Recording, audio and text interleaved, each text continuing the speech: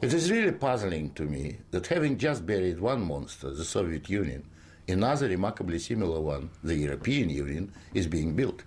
Exactly what is the European Union? Perhaps by examining the Soviet version, we can get the answer.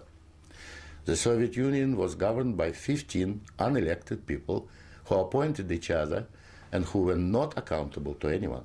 The European Union is governed by two dozen people who appoint each other, meet in secret, and are not accountable to anyone and whom we cannot sack.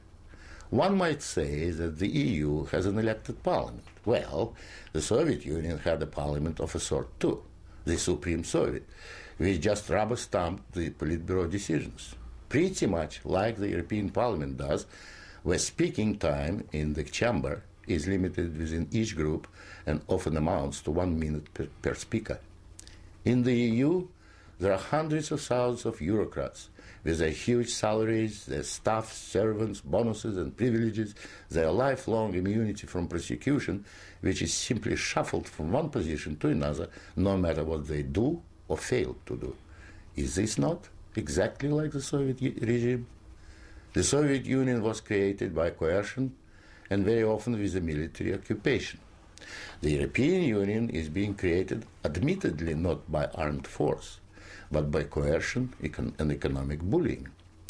In order to continue to exist, the Soviet Union spread itself further and further. The moment it stopped spreading, it started collapsing. And I suspect the same is true of the European Union. We were told that the purpose of the Soviet Union was to create a new historic entity, the Soviet people, and that we must forget our nationalities, our ethnic traditions and customs. The same seems to be true of the European Union. They don't want you to be British or French, they want you all to be a new historic entity, European, to suppress all your national feelings and live as a multinational community. After 73 years, the same system in the Soviet Union resulted in more ethnic conflict than anywhere in the world. In the Soviet Union, one of the grand purposes was the destruction of the nation state. And that's exactly what we observe in Europe, in Europe today. Brussels intends to absorb nation states so that they should cease to exist. Corruption was built into the Soviet system from top, to, uh, to, from top down and so it is in the EU. The same endemic corruption activity that we saw in the old Soviet Union has flourished in the EU. Those who oppose or expose it are silenced or punished. Nothing changes. In the Soviet Union, we had a gulag.